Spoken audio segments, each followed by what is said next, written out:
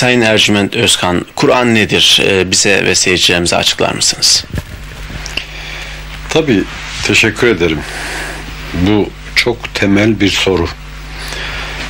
Kur'an lügat anlamı itibariyle okunacak şey manasına gelen bir Arapça kelime iken herkesin hemen herkesin Müslim, gayrimüslim herkesin aklına gelen yaygın anlamıyla da Allah'ın son elçisi Hazreti Muhammed Aleyhisselatü Vesselam'a gönderdiği vahyin kendisinde toplandığı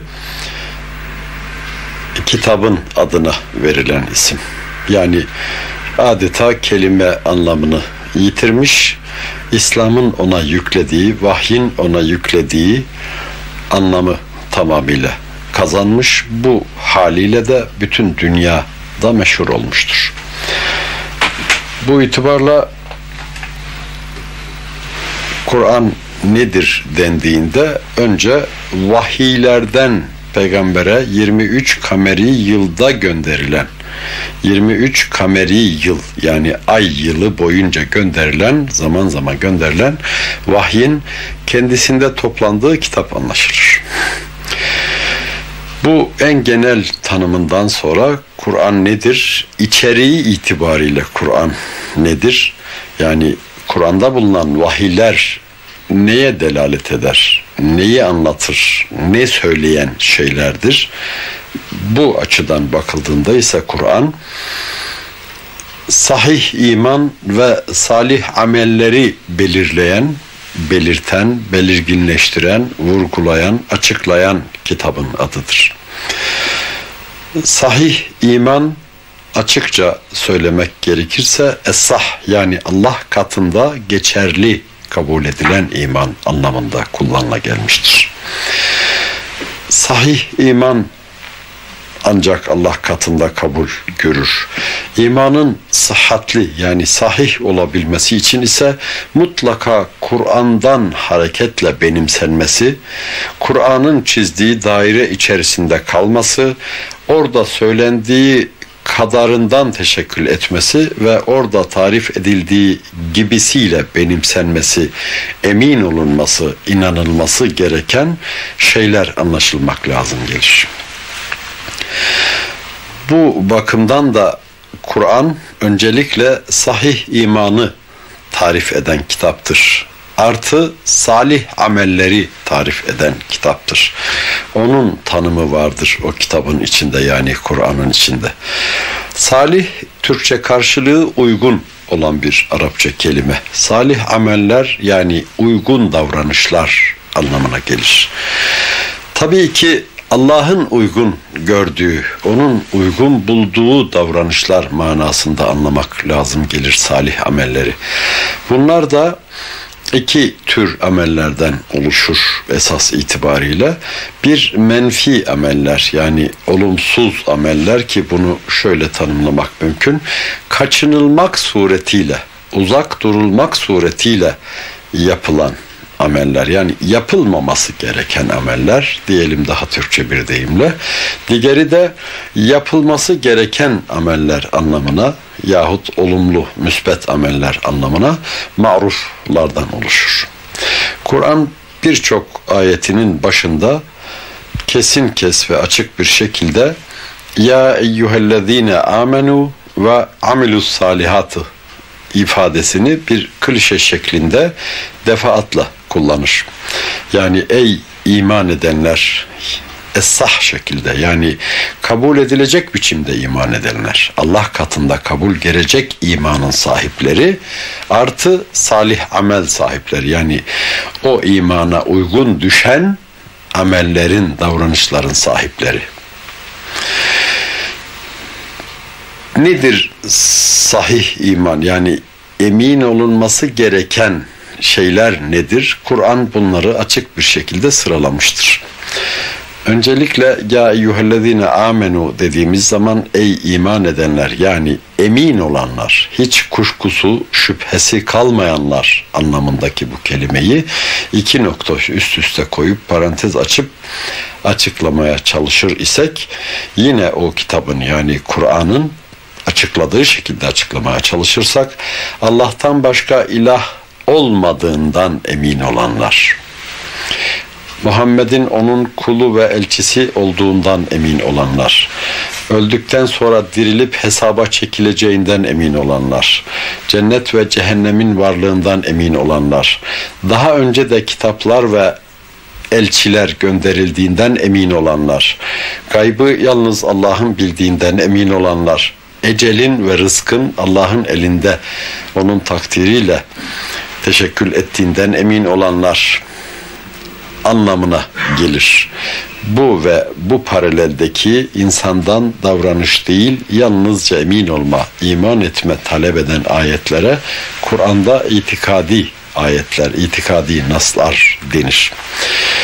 Kapa parantezi salih ameller. Salih ameller de biraz evvel söylemeye çalıştığımız gibi münkerlerden kaçınma artı maruflar ile amel etme manasındadır. Münkerler Allah'ın müminim diyen, iman ettim diyenlerin uzak durmasını tembihlediği amellere denilir. Bunlar ise örneğin Allah'a şirk koşmaktan tutunuz, imana taalluk eden bir amel olsa bile içkiden uzak durmak, zinadan uzak durmak, hırsızlıktan uzak durmak, yalan söylemekten uzak durmak, iftira etmekten uzak durmak, komşusuna kötü muamele etmekten uzak durmak, hile yapmaktan uzak durmak, insanları aldatmaktan uzak durmak ve ila ahir. Hatta giderek en sonuncusunu virgül virgül nokta nokta hayvanlara götürebileceğinden fazla yük yüklemekten uzak durmak gerekir. Yani münkerler olumsuz amel olarak böyle tanımlanır.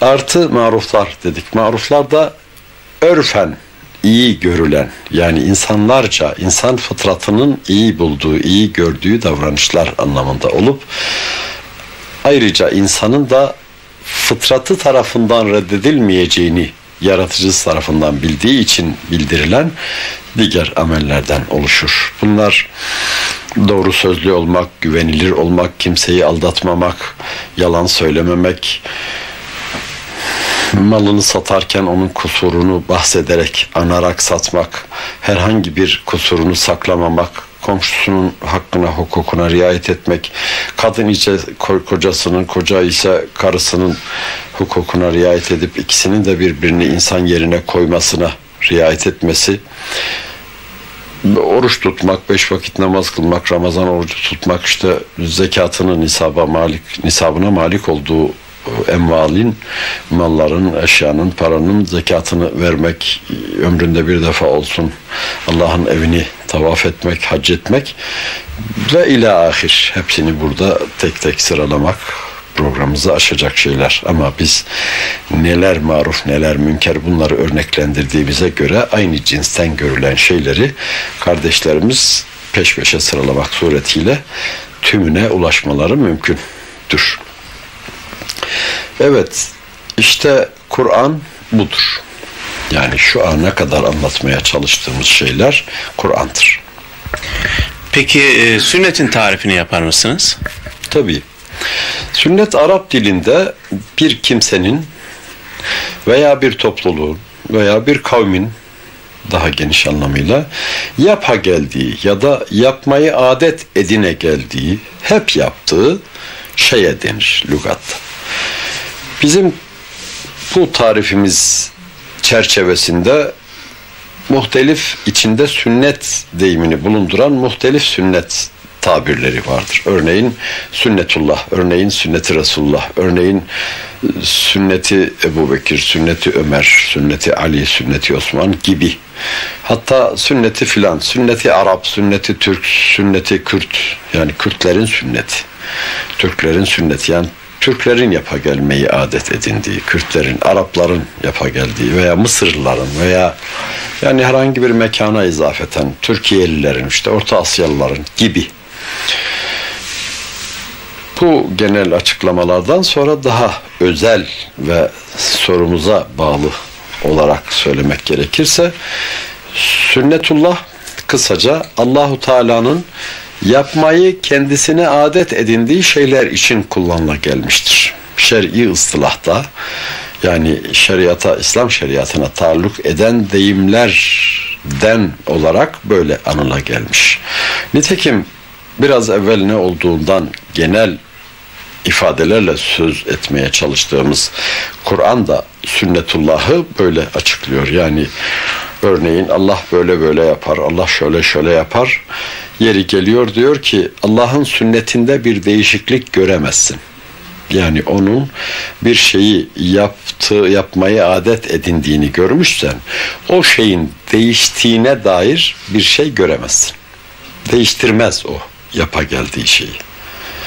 Örneğin bütün canlıları yeniden öldürmek üzere, kendine döndürmek üzere mi yaratmıştır? Evet. Bila istisna bütün canlılar yani onlara nasıl can veren, ruh veren, bu dünyaya gönderen, getiren, yaratan, halk eden, yoktan var eden o ise yeniden kendine döndüren de odur.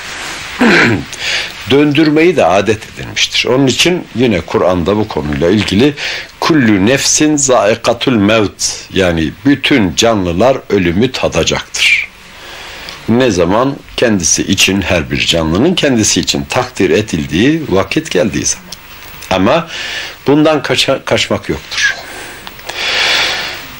Nitekim bir başka ayette de peygambere hitaben biz senden önce de hiçbir canlıya ölümsüzlük vermedik buyurmak suretiyle Müslümanlar arasında, insanlar arasında yaygın olarak biline gelen ama İslami açıdan en ufak bir esasa dayanmayan ab hayat yani hayat suyu içtiği söylenerek asırlardan beri hatta ta Musa Aleyhisselam'la gezmeye başlamış ilk defa yeryüzünde adeta. O zaman görülmüş ve el anda yaşayıp duran zaman zaman şunun rüyasına gelen berikini bilmem şu odada mutfakta gören işte şöyle yap böyle yap diyen aksakallı aksaçlı bir ihtiyar gibi olmadık bir masal kahramanı bu. Uyduruk bir kişilik. İşte halkın dilinde de Hızır adıyla anılan Arapça yeşil demek. Hadır Hıdır ne demekse öyle ama İslam dışı dinlerden taşınan bir kavram çünkü İslam'la tanışmamış kavimlerde de bu kavram var Hızır. Örneğin Orta Asya'daki şamanist kültürde Hıdır olduğu gibi şeyde de Hindistan'daki dinlerde de var. Hristiyanlıkta var, Yahudilikte var. Yani Müslümanlara da böyle ödünç bir deyim olarak çıkmış gelmiş ya da Müslümanlar davetiye mi yazdı ne yaptıysa almış. Sabah akşam onunla düşüp onunla kalkanları bile dolu. Ama böyle bir kişilik yok. Çünkü ölümsüz bir kişilik yok. Halbuki Hızır dendiğinde herkesin aklında ölmeyen bir canlı kastediliyor. Böyle bir canlının olamayacağını ise sözünden emin olduğumuz Allahu Teala kitabında buyuruyor. Hatta peygambere hitaben biz sana yani senden evvel de hiçbir canlıya ölümsüzlük vermedik buyurmak suretiyle böyle bir kişiliğin olmadığını sarahatan bildiren Allah bu konudaki insanlar arasında tedavül eden bilgileri biliyor da ondan bu açıklamayı yaparak yani kimse böyle bir şeye inanmasın demiş oluyor ama anlamak istemeyenler ya da düşünmeyenler bu bunları da anlayamıyor. Gelelim asıl konumuz olan sünneti Resulullah'a. Çünkü Müslümanlar arasında sünnet dendiğinde en yoğun biçimde Resulullah Aleyhisselatü Vesselam'ın yapa geldiği şeyler anlaşılıyor. Şimdi Resulullah Aleyhisselatü Vesselam bir yandan bir Arap'tır. Bir yandan Kureyş'in bir mensubudur. Yani Mekkeli bir Arap'tır. Bir yandan Mekkeli Araplardan da Beni Haşim ailesinden bir o kabileye mensup bir insandır. Onun o sıcak iklimde yaşayan insan olarak bir takım alışkanlıkları vardır. Yani yapa geldiği şeyler örneğin tüm Arapların o iklimin zoru ile yapmaya alış, kendilerini alıştırdıkları ve başka bir alternatif de aramak gereğini duymadıkları geniş ve kalın üstelik beyaz elbise entare giydikleri gibi. Bu tüm Arapların sünneti olmuş. Yani kıyafetleri hep böyle kadın da entare giyiyor, erkek de entare giyiyor. O güneşin yeryüzünün kambur kısmına yani ekvatora yakın olduğu için bu deyimi kullanıyorum. Yakın olan mıntıkasındaki Mekke, Medine malumumuz ekvatora Türkiye'ye nispetle çok daha yakındır. Hollanda'ya nispetle çok daha yakındır. o güneşin altında yaşayan insanlar güneşin başlarına geçmesinden korunmak için ister istemez başlarını kalın bir sargıyla sararlar ki güneş onları çarpmasın için. Örneğin çok ince kum rüzgarlarının her türlü yolculukta her yolcuyu rahatlıkla rahatsız ettiği bir ortamda her teneffüste o kumları teneffüs etmemek için örneğin şöyle tenef yani teneffüs ettikleri burun deliklerini de kapatacak şekilde bir peçemi diyelim, maskemi diyelim hani anlatım açısından böyle bir şeyle yüzlerini örttüklerini görüyoruz. Kadın erkek kim yola çıkarsa. Hatta şehir içindeyken bile eğer bir ince rüzgar esiyorsa hemen hissediyor ve derhal kapatıyor. Zira kapatmazsa her nefes alışında ciğerine işte 3 miligram da olsa 5, 5 gram da olsa neyse bir kum girecek. O zaman o insanın hayatı bitecek demektir. Bunlar o iklimin o insanlara sünnet olarak kabul ettirdiği zorunluluklardır. Bizim o gün insanların Müslüm gayrimüsliminin herkesin binite ihtiyacı vardır bugün de olduğu gibi. O iklimde en dayanıklı, mukavim bir binit olarak deve vardır. Deveye binmek insanların sünnetidir genelde. At daha nadirdir. Merkep daha az hızlıdır, fazla yük götürmez filan. Onun için deveye binmek daha yaygın bir sünnettir.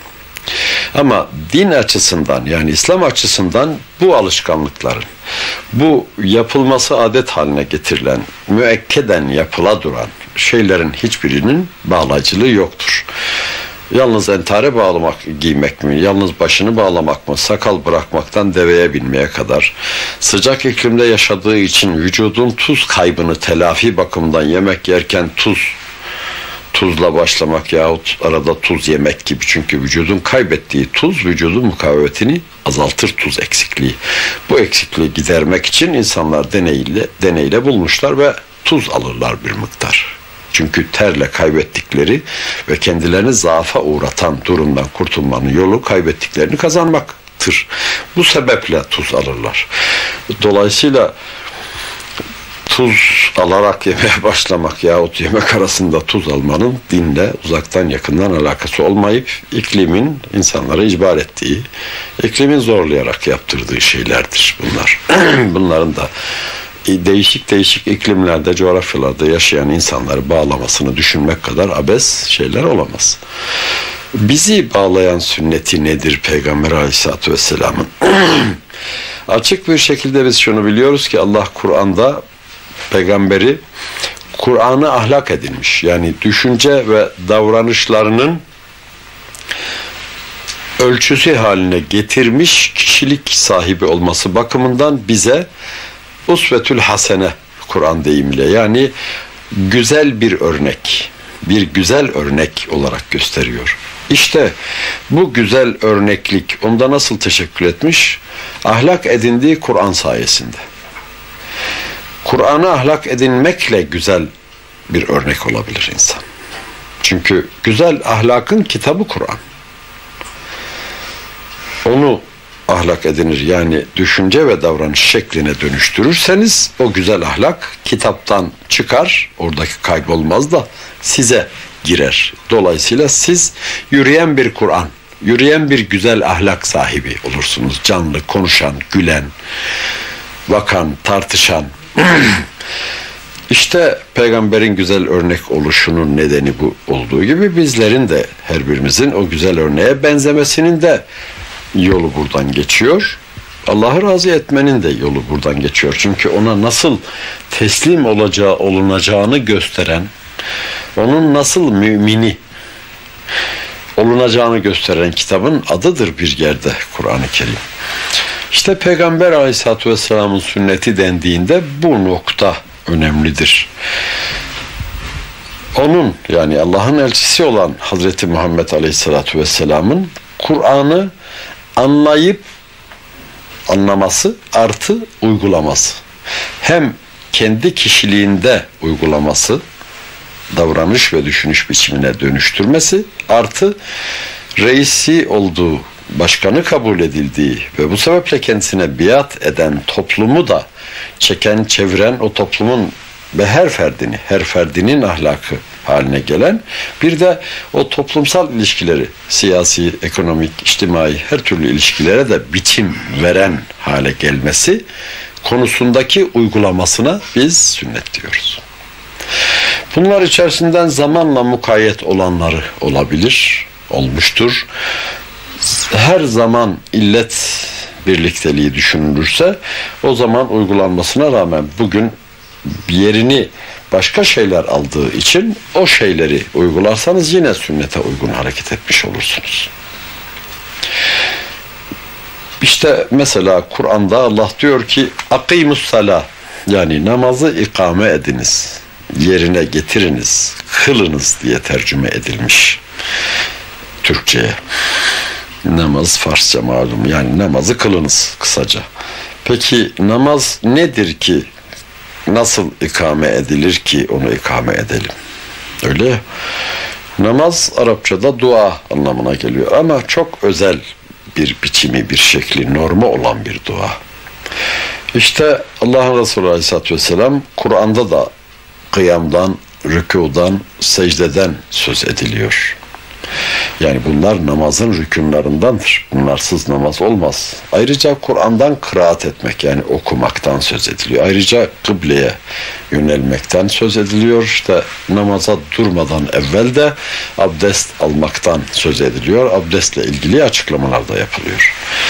İşte bu konuda Allah'ın elçisini Akimus salanın yani namaz kılınızın bir pratisyeni görerek yani o nasıl kılıyorsa öyle kılarak nitekim de çok yaygınca bilinen bir hadiste ibadetlerinizi benden gördüğünüz gibi yapınız buyuruyor.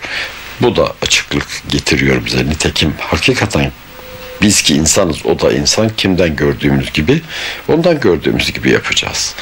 Yapmalıyız. Yani özetle ve genel olarak esaslı bir tanım verecek olursak Resulullah'ın Kur'an'dan anlayıp uyguladıklarının toplamına sünnet diyoruz. Bu ifadede dikkat edilirse Resulullah'ın hareketleri söz konusudur. Bir, hepsi de değil, Kur'an'dan anlayıp uyguladıkları söz konusudur. Örneğin deveye şöyle biniyor idiyse Kur'an'a bakarak mı bindi? Hayır. Yani Kur'an'da deveye şöyle binin yazmıyor. Dolayısıyla deveye biniş biçimi kendine Kur'an gelmeden de zaten bildiği yaptığı bir şey. Bu türü değil. Kur'an geldikten sonra ve Kur'an'dan anlayıp uyguladıkları için sünnet diyoruz. Bu biz Müslümanları bağlayıcıdır. Zaten hiçbir Müslüman Resulullah'ı onun dini uygulamalarını yani Kur'an'dan anlayıp anladıklarını ve uyguladıklarını yatsıyamaz. Yani inkar edemez. Ben bunu kabul etmiyorum diyemez. Der ise aynı şeyin Kur'an olduğuyla ilgili sözleri de ondan almış olduğu için onları kabul ediyorum, bunları kabul etmiyorum demeyi akıl da, mantık da, nakil de kabul etmez. Yani şunlarına itibar ediyorum, bunlarına itibar etmiyorum. Bir kısım şeyine itibar edilen, bir kısım şeyine itibar edilmeyen adam olamaz peygamberler. Onun dinle ilgili söylediklerinin hepsine uymak, onları yerine getirmek mecburiyetindedir. Eğer peygamber de insan olduğu için bunları yapar iken bir yanılması, bir yanlışı söz konusu olursa onu düzeltmek insanlara, onun elçi olduğunu kabul eden insanlara düşen iş değildir. O kimin elçisi? Allah'ın. Elçisinin yanlışlarını düzeltmek de Allah'a düşen bir iştir. O düzeltir nitekim de düzeltmiştir. Sanıyorum 91 yılının ilk 3 sayısında Ocak, Şubat, Mart sayısında 12 yıldan beri yayınlamakta olduğumuz İktibas dergisinin bu üç sayısında kavramlar ana başlığı altında ve Allah'ın elçisini düzeltmesi özel başlığıyla bu konuyla ilgili 30'dan fazla ayet geldiğini, 30'dan fazla olay bulunduğunu ve Allah'ın elçisini düzeltmesi ile ilgili 30'dan fazla örnek verdiğimizi gayet iyi hatırlıyorum. Sünnet bütün Müslümanlara ilzam eder. Yeter ki sünnet diye bize gelen bilgilerin sünnet olduğu konusundan emin olalım. Örneğin Peygambere isnat edilen o şöyle yaptı, böyle dedi, şurada sustu, burada durdu, böyle etti, böyle çattı gibi bize onunla ilgili olduğu söylenerek gelen haberlere ki biz bu haberlerin tümüne hadis diyoruz.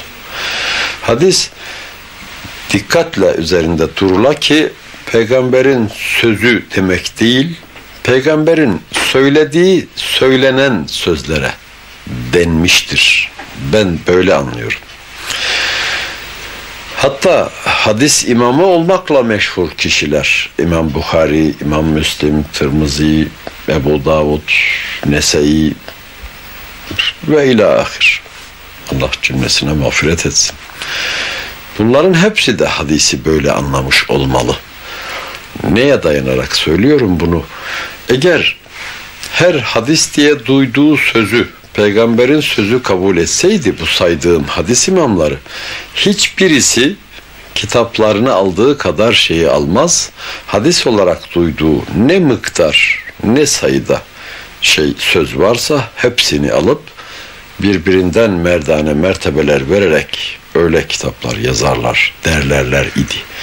Ama bahsettiğimiz kitaplardan en meşhur ikisinden örnek verirsek Bukhari ve Müslim'den yani Sahih-i Bukhari ve Sahih Müslim'den mukaddimelerinde açıkça İmam Bukhari'nin kitabından mevcut hadisleri 600 bin hadisin içinden seçtiği söyleniyor.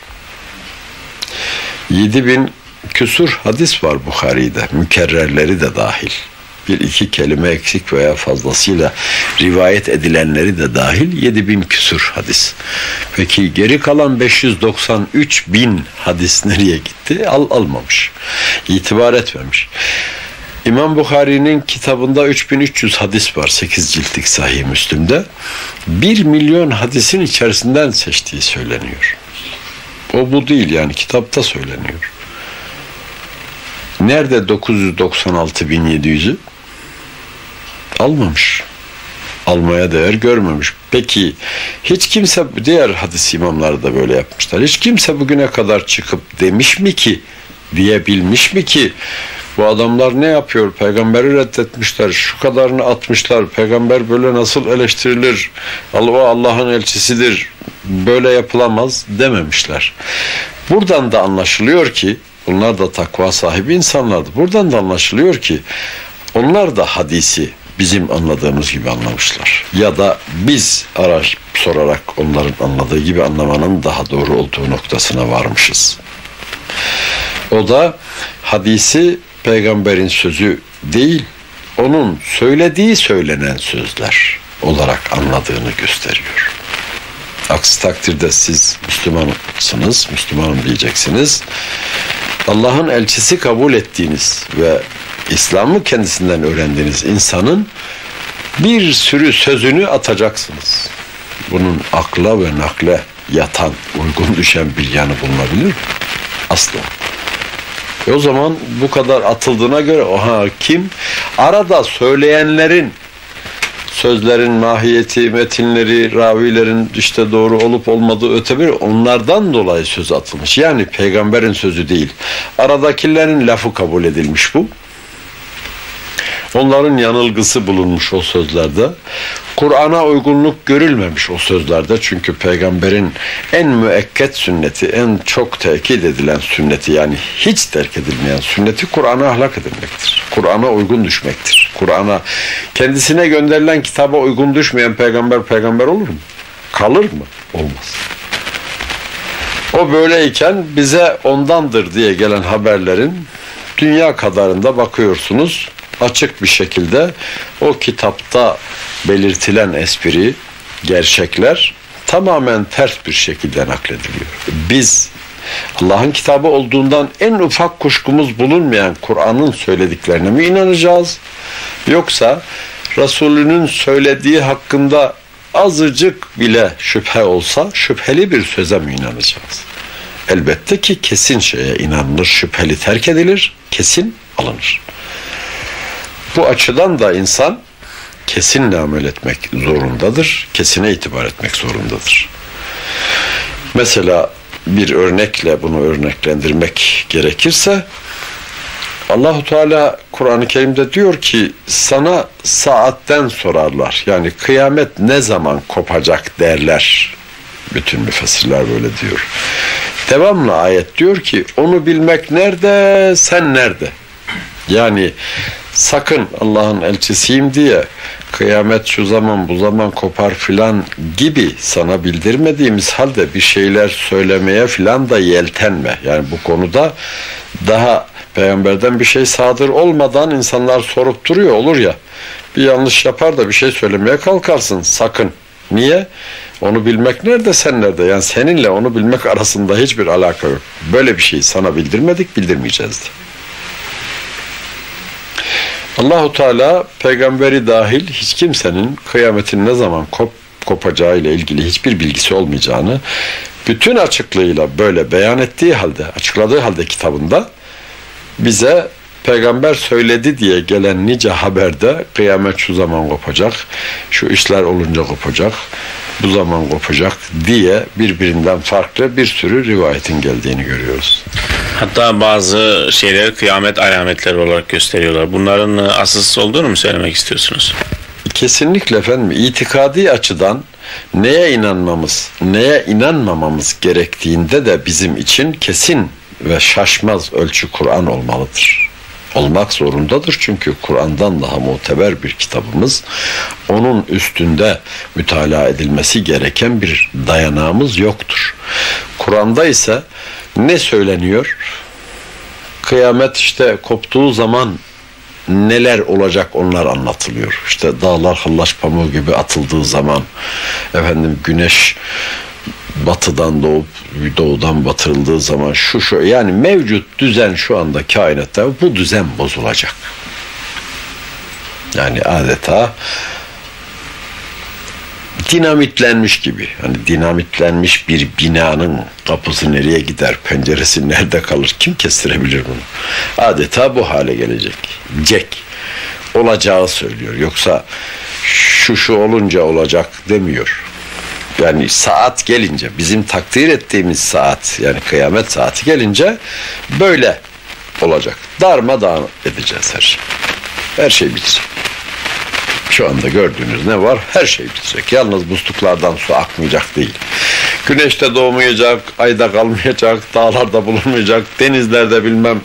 Her bir şey mevcut halini değiştirecek ve yitirecek, kaybedecek anlamında. O bakımdan biz buna çok hassasiyetle dikkat etmek zorundayız. Evet, biz sorunun... Evet, Ercüment Bey biraz önceki konuşmanızda... E Peygamber Efendimiz'in yaşadığı dönemdeki veya şu andaki ekvatora yakın e, iklim bölgelerinden bahsettiniz ve o bölgelerde Peygamber Efendimiz'in Kur'an'ın e, haricindeki yapmış olduğu işlerden bahsettiniz evet. ve o arada sakaldan da bahsettiniz. Şimdi sakalın e, İslami bir manası yok mu yani? Kesinlikle sakalla ilgili Kur'an'da herhangi bir zikir söz konusu değildir. Yani bırakılması, bırakılmaması, şöyle olması, böyle olması yok. Yalnız sakaldan mı hani belki saçtan da bahsetmiyor. Hani başına meshet diyor da saçın da adı pek anıldığı yok. Ama saçın saç Kur'an'da geçmiyor diye biz kafamızdan her gün kazıtmıyoruz hoş onu. Hani bu demektir ki yeri yok. İslami açıdan gerçekten bir değeri, bir anlamı yok. Allahu Teala'nın köse olarak yaratmadığı mümin kafir demeden renci, kızılderili, beyaz, sarı demeden her ırkta ve erkek cinste kadınlarda genellikle çıkarmıyor Allahu Teala onlara bu şeyi vermemiş. Çıkıyor. Kes, keserseniz görünmüyor. Kesmezseniz, dokunmazsanız büyüyor. Tıpkı ot gibi. Otu da biçersen şu kadar boyu olmuş ot iniyor yerle beraber şu kadar. Sakal da kestiniz mi sakalsız oluyorsunuz. Kesmediniz mi sakal çıkıyor. Biliyorsunuz toprağı nasıl ağaç, orman erozyondan koruyorsa yani değer kaybından, aşınmaktan, sellerin sel sularının alıp götürmesinden cildi de sakal koruyor. Bu bugün de bilinen bir şey. Hatta yaygın olarak da bazısına sorarsınız. Niye sakal bırakıyor? Yok işte başka bir amacım yok. Yani biraz cildim dinlensin diye bırakıyorum. Demenin yaygın olduğunu gördüğümüz bir dünyada yaşıyoruz. O günün hayat şartları böyle kapalı mekanlarda çalışılmadığı, daha ziyade işte çobandır, efendim deve sürüsünün peşinde, koyun sürüsünün peşinde, efendim çiftçidir, güneşin altında bilmem tarlasında işte hurma bahçesinde onu kazıyor, suluyor, çapalıyor filan. Açık havadadır daha ziyade o dönemlerde hayat da çalışma. Bugünkü gibi hani fabrikalar yoktur. Kapalı mekanlar olarak. Bugünkü gibi bürolar yoktur. Bugünkü gibi devlet daireleri saysan saysan 3-5 odadan öteye geçmez. Hatta devlet olmadan o da yoktu. Ama bugün bu yalnız devlet daireleri bile Dünya kadar yani bir toplamaya kalksa milyonlarca metrekare tutar o kapalı ve yüz binlerce insan çalışıyor. Mesela Türkiye'de bir buçuk milyon devlet memuru var. Bunların alayı güneşin alnında değil bir odada kapalı mekanda çalışıyor.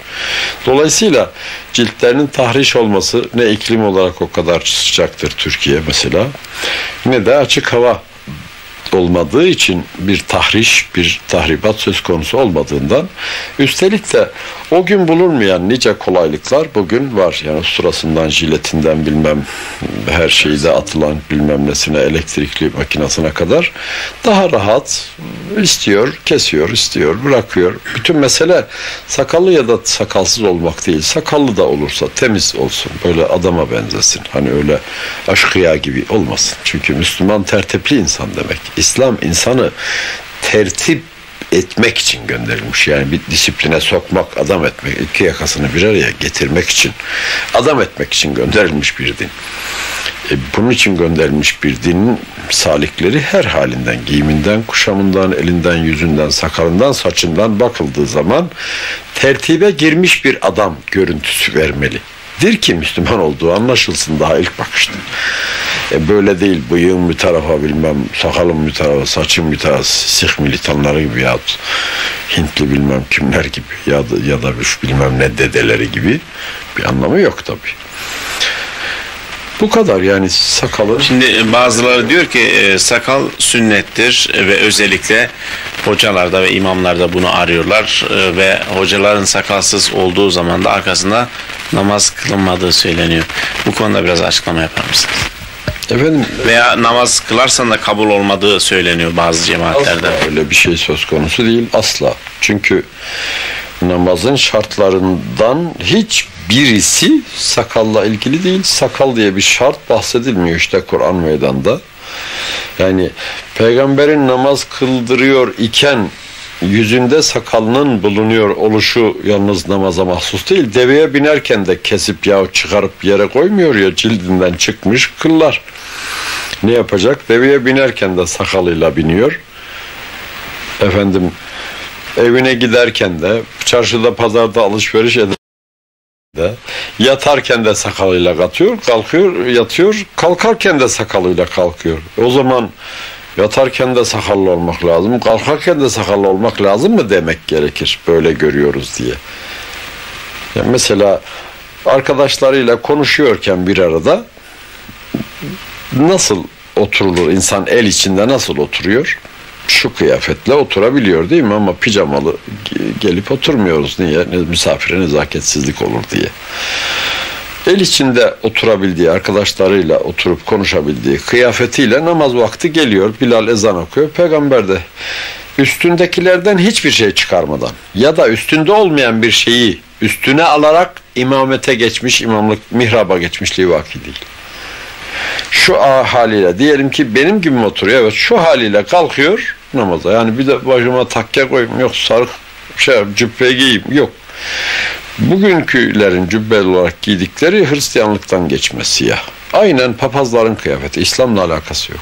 Peygamberin giydiği de bu değil zaten. Giydiği o peygamber olduğu için de giymiyor. O günkü tüm Araplar aba gibi bir şey giyiyorlar. O da öyle bir şey gibi. Bu onun normal günlük kıyafeti yani. Giydikleri Hristiyanlıktan geçme siyah. Aynen papazların kıyafeti. İslam'la alakası yok. Peygamberin giydiği de bu değil zaten. Giydiği o peygamber olduğu için de giymiyor. O günkü tüm Araplar aba gibi bir şey giyiyorlar. O da öyle bir şey gibi. Bu onun normal günlük kıyafeti yani. Bu günlük kıyafet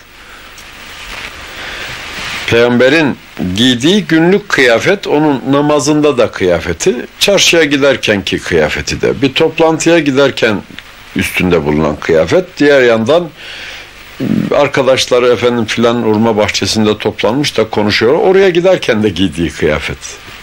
O gün insanlar daha basit hayat şartlarında yaşadıkları için bir spor kıyafeti, bir kır kıyafeti, bir bilmem ev kıyafeti, öteberi gibi dünya nimetlerinin bugün çoğalmasıyla böyle tasnifler başladı. O gün fazlaca böyle kıyafetler yok. Belki insanlar gündüz giydikleriyle biraz hafifletip gece onunla da yatıyorlardı yani. Ama bugün öyle değil. Hiç kimse giyindiği kıyafetiyle hemen hemen yatmıyor. Bir pijama giyiyor, başka başka şeyler giyiyor filan. O, o günün imkansızlıklarının getirdiği bir şeydir. Yani namazla başı örtmenin, namazla sakalın, namazla üstündeki kıyafetin uzaktan yakından alakası yok. Namazla kıyafetin arasında ne ilişki var? Avretin setredilmiş olmasıyla namaz namaz olur. Çünkü avretin setri de namaza durmak için gereklidir. Yalnız namaz için değil, elin alemin içine çıkarken de avretini setrederek, örterek çıkacaksın. Yani başka türlü çırılçıplak misafirlerine çıkıp hoş geldin diyor mu insanlar hala yeryüzünde? 3-5 üşütmüş, sapıtmış hariç yok. Hala millet pantolon, ceketi, gömleği yani adam gibi giyinip çıkıyor iken. Elbette ki Allahu Teala'ya ibadete dururken de çıplanıp da çıkacak değilsin. Tıpkı bir taifenin Mekke'yi Kabe'yi tavaf ederken üzerimizdeyken kendileri üzerimizdeyken günahkar olduğumuz elbiselerimizle Allah'ın evini tavaf edemeyiz. E bu elbiseleri çıkaralım da efendim atalım çırılçıplak e peki o günahı işlerken cildin üzerinde değil mi? Bari onu da derini de yüz de öyle tavaf et. Salaklık parayla mı işte? Öyle anadan doğma Mekkelilerle aralarında hır çıkmış. Olurdu olmazdı bu vaziyette tavaf edemezdiniz. Öbür taife geliyor dışarıdan edeceğiz. Nihayet bir orta çözüm yolu bulmuşlar. Hadi hava karardıktan yani zifiri karanlıkta bari siz tavaf edin demişler. Çünkü gündüz gözü müsaade etmemişler. Çırılçıplak kadın erkek tavaf edecek. Cahiliye zamanında Mekke. Öyle yani bu işlerin şöyle namazın bir erkanıyla sakalın filan alakası yok. Mesela abdestle ilgili de Tirmizi'de rivayet edilen hadiste Resulullah Aleyhisselatü Vesselam namazın dışında herhangi bir şey için abdestli olmakla emrolunmadım diyor. Meşhur hadis kitabı Tirmizi'de abdest babında namaz babında kitabı sala bahsinde söylüyor. Ama bugün Müslümanlar nereden, nasıl öğrendiler, net anlaşılan peygamberin sözü değil bu başkalarının araya sokuşturduğu yanlış anlamaların ürettiği şeyler olmalı ki efendim yok Kur'an dokunurken de abdest olacağım, yok camiye girerken de abdest olacağım, yok hiç alakası yok.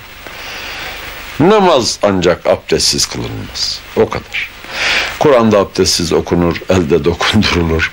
Camiye de abdestsiz girilir. Evine de abdestsiz girilir. Hani abdestini boz da gir anlamında değil. Bu abdestsizsen girmemezlik değil. Girebilirsin. Hiçbir mahsur yok. Ama bir tek şey var. O da abdestsiz namaz kılınmaz. Onun için Peygamberimiz de öyle buyuruyor. Zaten diyor ki namazın dışında herhangi bir şey için abdestli olmakla emrolunmadım. E nereden çıkarıyorsunuz Allah'ın kelamı olan kitabı tutmak için illa abdestli olacaksın, elini dokunduran yok birisi tutar peşkirinden tutup da mesela bakabilirsin. Hıfsınla varsa okuyabilirsin ama dokunamazsın. Sayın Ercüment Özkan, e, sohbetimize e, şöyle soruya sorarak başlamak istiyoruz. E, din nedir? Ve tabii ki din konuşulunca da İslam işin içerisine geliyor. E, din ve İslam'ı tarif eder misiniz? Din Kur'an'ın deyimiyle insanların inançları ve inançlarından kaynaklanan davranışlarının toplamına yani yaşam biçimine inanış ve yaşayış tarzına, yaşam tarzına verilen isimdir. Bu bozuk olmuş, düzgün olmuş, doğru olmuş, eğri olmuş hepsini kapsamına alan bir tanımdır. Bunu ispatsa dediğinde de yine Kur'an'ın ifadesiyle Kafirun suresinin son ayetlerinde lekum dinikum veliyedin buyuran Allah sizin dininiz size benim dinim bana buyurtuyor peygamberine. Yani kul ya eyyuhel kafirün kafirlere de ki son cümleyi aralara geçelim sizin dininiz size benim. Demek ki onlarınkine de din deniyor onlarınki de din. Bu tıpkı bir armut gibi yani çürük armuda elma demiyoruz çürük armut diyoruz ekşi armut sert armut kurtlanmış armut ama kurtlansa da armut çürüse de armut sert olsa da yumuşasa gayet güzel hale gelse de yine armut. Cinsi değişmiyor. Yani bozuk veya düzgün olması dinin din olmaktan çıkması değildir. Yine din olarak kalır. Nitekim Kureyşler de bir yandan Allah'ı biliyorlar, öbür yandan 360 tane de ona ortak koşmuşlar. Ama bu hallerine rağmen yani şirke girmiş olmalarına rağmen Allah onlarınkine de din diyor. Bu bakımdan din dediğimiz zaman yalnız Hristiyanlığı, Yahudiliği bozulmuşunu veya bozulmamışını değil, hepsini kapsamına aldığı gibi Budizmi, Konfüçyüs'ün adıyla anılan dini, Sih dinini, yok Marksizmi, hatta çoğu için garip gelebilir ama hiç de garip gelmemesi lazım tanımı esas kabul eder isek laik demokratik yaşam biçimini dünya görüşü ve yaşam biçimini de bir din kabul etmek zorunluluğu vardır. Tıpkı Marksizmin de bir din olduğu gibi. Çünkü bozuk da olsa, düzgün de, eğri de, doğru da olsa bunlar da birer dünya görüşü yani kainat hakkındaki esas görüş artı o görüşten kaynaklanan yaşam tarzının adlarıdır. Gelelim doğru dün eğri din. Yani eğer sonucunda inanç tarzına, dünya görüşünden ve dünyadaki yaşam tarzından insanlar hesap vereceklerse ki vermeleri İslam dininin esasını oluşturan rükünlerden biridir. Ahiret işin sonu insan mantığının ayrılmaz bir parçasıdır. Bu takdirde Allah tarafından yaratılanlar onu kabul etmeseler dahi Allah yarattıklarını kabul ediyor ve biliyor. Yarattıkları Allah'a kabul etmese bilmese bile. Sonuçta kendine döndüreceğini söylüyor. Yani ondan geldik ona döndürüleceğiz ayetinden de anlaşılan budur. Onlar da döndürülecekler ve orada hesaba çekilecekler. Tüm öldürülenler diriltilecek, hesaba çekilecek. İşte hesaba Kur'an'dan çekilecekler. Daha evvel gönderilen kitaplardan çekilecekler. Yani o kitaplar gönderildiği dönemde yaşayanlar onlardan sorumlu olacak.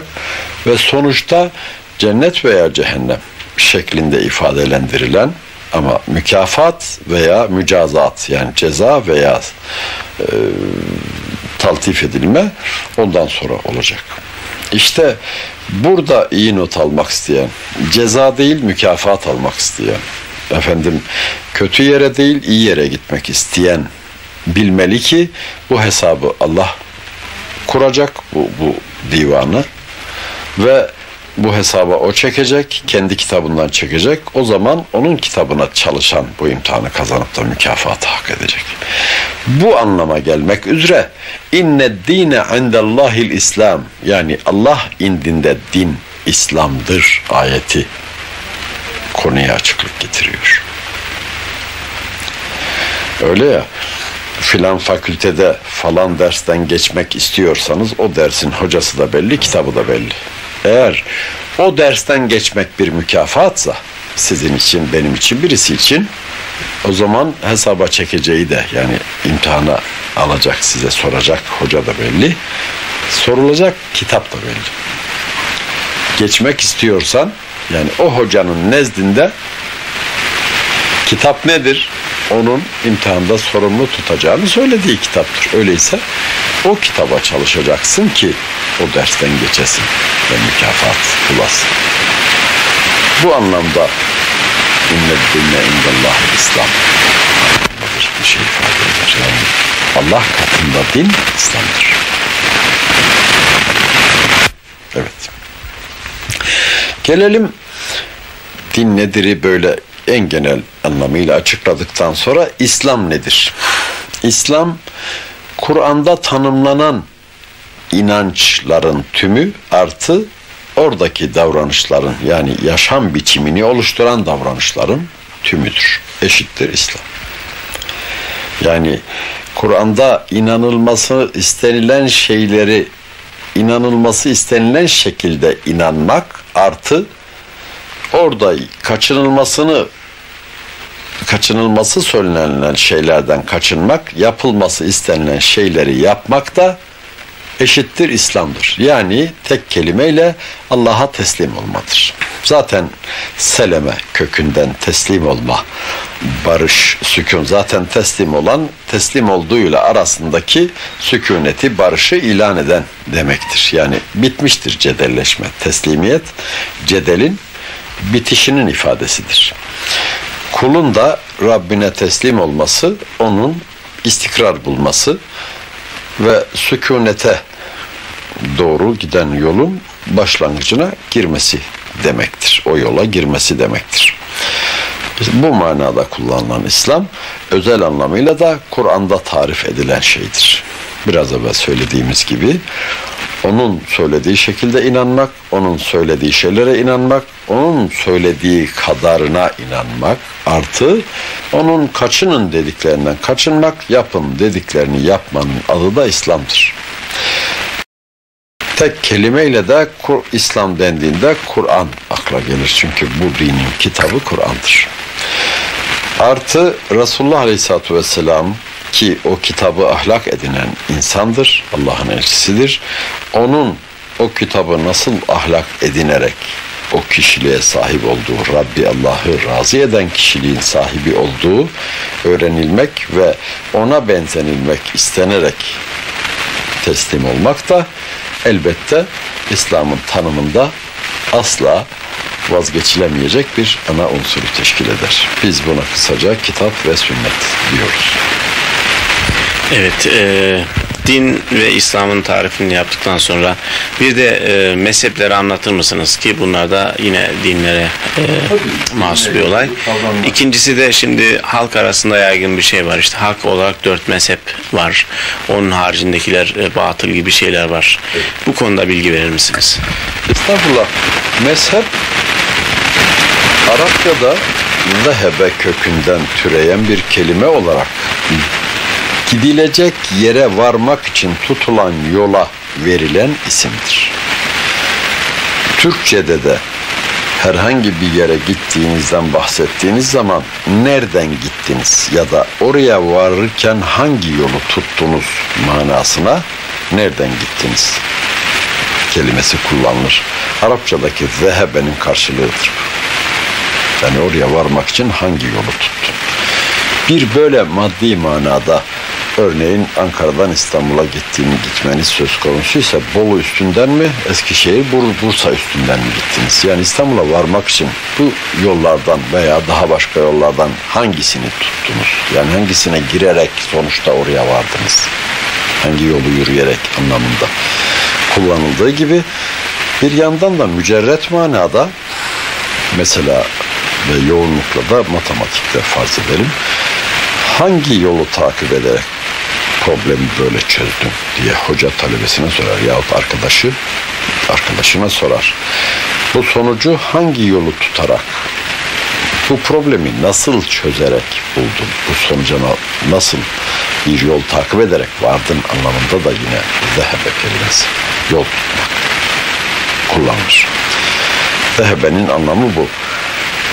Şimdi mezhep yani görüş bir yol tutmak, şu yolu tutmak görüşündeyim. Şu yoldan gidersem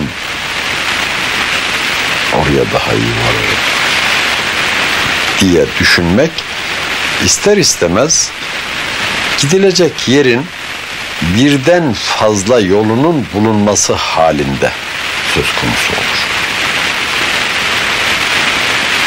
Eğer gideceğiniz yere gidilecek birden fazla yol yok ise sizin için mezhep herkes için olduğu gibi bir tektir. Yani bir yol vardır o yolu tutacaksınız. Başka yol yok ki o yolu tutarsın. Başka yol diye bir yer şey o zaman yoldan çıkarsın.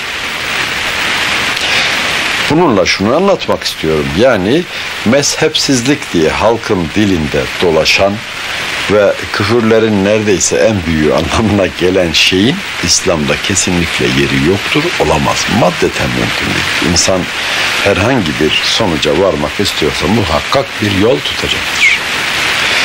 Bu yolların meşru yollar, makul yollar, kitaba ve sünnete dayalı yollar olması halinde o yola tutulan yola mübah gözüyle bakılabilir. O yollardan çıkılması halinde yolsuz kalınır. Yani varılacak yere varılamaz. İşte buna meydan vermemek için yine biz neyi nasıl yapacağımızla ilgili ilk bakacağımız kaynak yine hakeza Kur'an-ı Kerim'dir. İkincisi de Resulullah Aleyhisselatü Vesselam'ın o şeyi, Kur'an'da zikredilen şeyi nasıl yaptığı, kendisinden yapması istenilen bir şeyi yapmak için nasıl bir yol tuttuğuna bakmamız lazımdır. Mesela akimus salat talebi, isteği. Allah diyor ki kullarından peygamberi başta olmak üzere namazı ikame ediniz. Yani namaz kılması isteniyor peygamberden ve ona inananlardan. Peki namazı nasıl kılacağız? Ne yapacağız? Nasıl bir yol tutacağız ki namaz kılmış olalım? Bu emir yerine gelsin.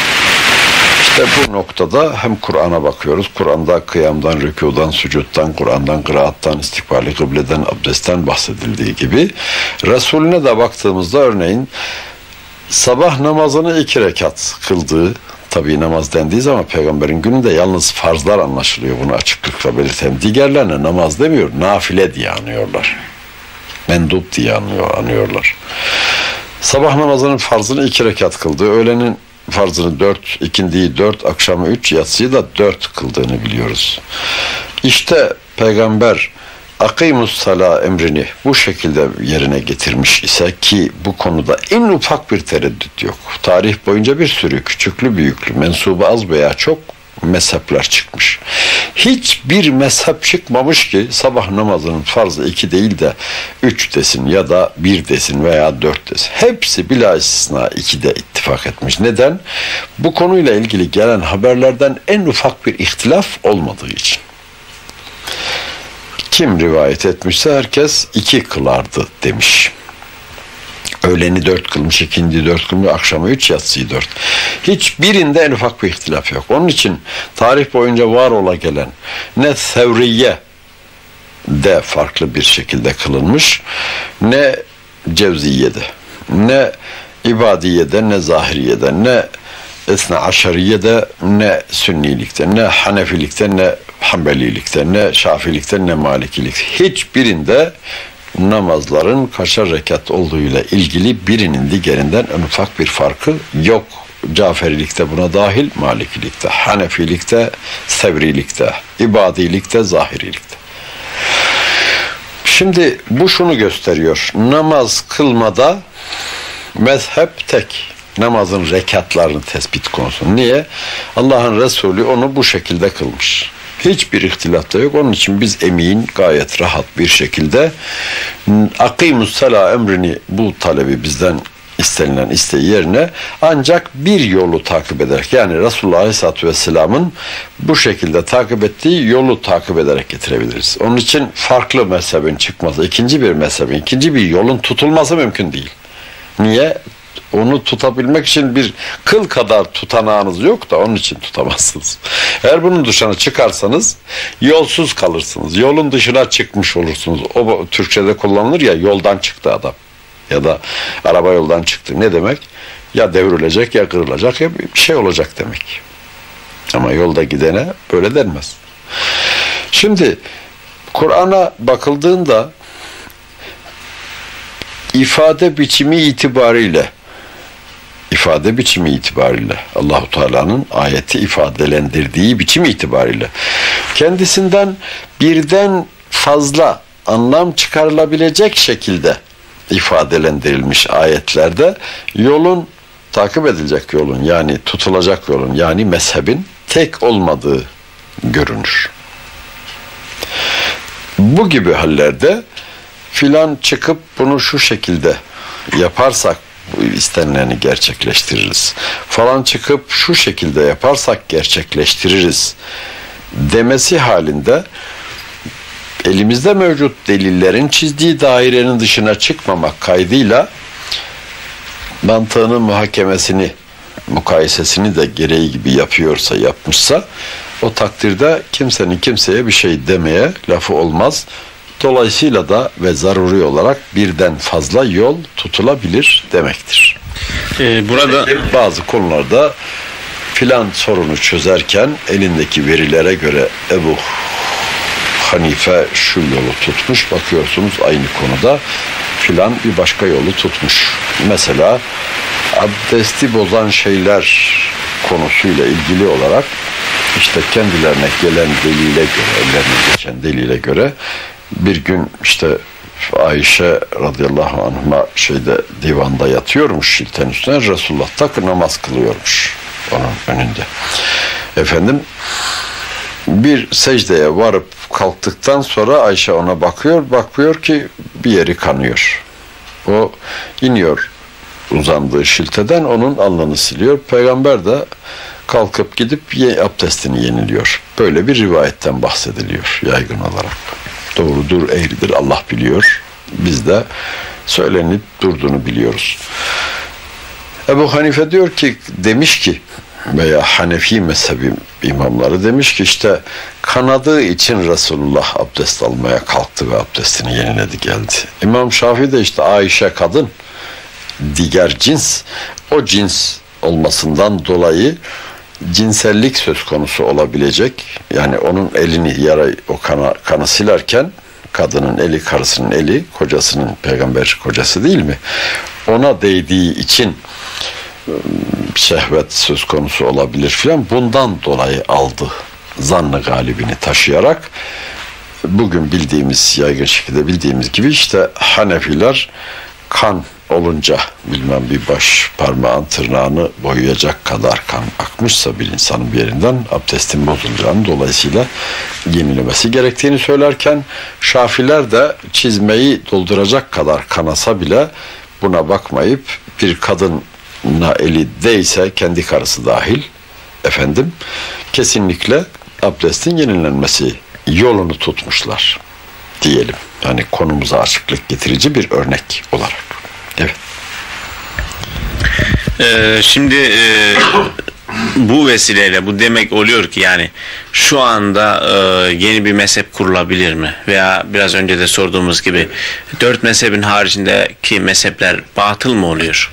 Efendim şöyle yol tutma hakkı bizden evvel eğer hak ise ki öyle Allah'ın gösterdiği bir yol varsa herkes o yolu tutmak mecburiyetinde zaten başka bir alternatif söz konusu değil. O yolu tutmazsanız yolsuz kalır, yolun dışına çıkarsınız. Ama birden fazla yol tutulabilecek konumlarda insanoğlu Müslüman olarak hiçbir zaman kendisinden evvelkilerin tuttuğu yollardan birini tutmak bu ister dört mezhepten biri ister beşinci mezhep ister altıncı ister on altıncı mezhep olsun. Bunun sayısı suyusu yok. Ve kimse de bunu kayıt altına alamaz. Kim vermiş yetkiyi buna? Millete. Başkalarının kendinden evvel gelip geçen başkanın tuttuğu yolu tutmak zorunda değil. Ne var ki kendisi de iler tutar bir yol tutmak zorundadır. Yani böyle bir yol ortaya koyarsa o yolu kendisi de tutabilir. Bu da bugüne kadar var olmuş yüzlerce mezhebe ek diyelim 120 mezhep var olmuşsa 121. mezhep olur. Kimsenin de bir şey demeye hakkı yok. Yani patent hakkını daha evvel iştihat edenler, mezhep ihtas edenler almış da artık o malı taklit edemezsin. Yahut işte onun üstüne Çoğaltamaz. kuma getiremezsin yani yeni görüş, yeni mezhep koyamazsın diye bir şey yok. Halkın bu konudaki bilgilerinin de esası yok. Hiç. Hatta halk derken yani hoca takımını da kastediyorum. Çünkü onlar da bu konuda halktan farksız. Yani al birini vur ötekini. O bilmiyor, o da bilmiyor. Zaten hocası bilse cemaati bilir. Cemaat bilse hocanın yakasını tutar da ne yapıyorsun bu yanlışları yapıyorsun der. Olmaz böyle şey. Yani daha evvel gelip geçenler mezhep koyacak da ondan sonrakiler kapanacak. Kim kim demiş? Halt etmenin dik alası bu. İçtihat kapısını kapatmak diye de anıla gelen şey bu. Kimsenin o kapıyı kapatmaya gücü yetmez, kapatamaz da. Ne var ki yani kimseye şoförlüğü yasak edemezsiniz. Bunun gibi. Ama hodri meydan. Buyurun, çalışın, edin, öğrenin araba sürmesini. Tıpkı iştihad etmek de böyledir. Anlatabiliyor muyum? Eğer yapabilene aşk olsun, yapabilen yapar. Alnının teriyle yapacak, senin sırtından yapacak değil ya. Efendim işte bugüne kadar şu kadar şoför oldu. Bir daha kimse şoför olamaz. Yırtınsa da çatladı. Kim kim böyle bir kanun koyar? Koysa millet isyan eder. Yani biz de doğrusu aklı eren Müslümanlar olarak iştihat kapısını kapatma işine isyankarların başındayız doğrusu. Gıyab etmişiz onlara. Kim yapıyor böyle? Bu kafasızlığı atın diyoruz. Bu kafasızlık aklı terk etmek, devre dışı bırakmanın adıdır bu diyoruz. Böyle bir şey de İslam'da kimseye mübah kılınmamıştır. Öyle şey mi olur? Müslüman dinini anlamak için çalışacak. Azami gayreti sarf edecek. Niye? Yahu ben yarın imtihana gireceksem gece gündüz demeyip okumalıyım, kitaba çalışmalıyım ki o imtihanda sınıfı geçme ihtimalim artsın. Yatar aşağı işte bir, bir yarım sayfa, üç satıra bakarım, nazara kapatır, iki saat gezersem. Yani gerçekten yapılması gereken işi terk ederse elbette sonuçta hüsran olur. Bu itibarla Müslümanlar dinlerini anlamak için, onun gereklerini yerine getirmek için durmadan anlamaya çalışmalı, okumalı, düşünmeli, tartışmalı ve amel haline getirmek için yapmalı bu işi. Yoksa kitap yüklü eşekler olmak için yapmamalı. Kur'an deyimiyle. Şimdi şöyle bir şey var e, Ercüment Bey. Mesela Caferi mezhebinde içtihat kapısının kapalı olmadığı ve e, e, kendine güvenen biraz önce de bahsetmiş olduğunuz gibi alimlerin çıkarak e, yeni bir mezhep dahi kurabildikleri e, göz önüne getirilirse e, Hanefi veya diğer ehli sünnet e, denilen söylenen mezheplerde içtihat kapısının kapalı olduğu ve bunların haricinde de mezhebin olamayacağı söyleniyor. E, bu konuda açıklama yapar mısınız? Estağfurullah. Efendim sorunuzun daha önceki kısmında da belirttiğiniz gibi hak mezhep demek deminden beri açıklamaya çalıştığımız gibi Kur'an'ın çizdiği daire dışında kalarak tutulan yol demek. Eğer o yolun dışına çıkarsa o zaman hakkın dışına çıkmış yani batıl bir yol tutmuş. Yani batıl bir mezhep sahibi olmuş olur. Bu itibarla hak mezhebin sayısı da İslam'da ne dörttür ne on dört yüzlercesi neredeyse küçük de olsa büyük de olsa gelip geçmiştir. Bu imamların iştihad eden ve bir mezhep sahibi olarak anılan imamların sayısının da ne kadar çok olduğunu bu konuyla yakından ilgilenenler bilir. Bu bakımdan daha sonrakilerin işi tekellerine almaları işte biz bakarız bu işlere gibi anlamlandırarak dörde irca etmeleri dört tane hak mezhep olunca tabii ki bunu doğru kabul ederseniz beşinci, altıncı, yedinci artık dörtten sonrası ister istemez hakkı dörde tahsis edince batıl da dörtten sonrasına kalır. Aslında hakkın dörde tahsis edilebileceğine kimden ruhsat almışlar? Kim almış? Bunu diyenler esaslı yanlış yapmışlardır ve kabul edilemez bir yanlıştır.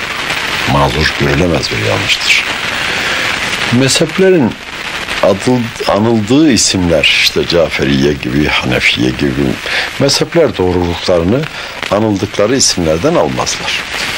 alamazlar.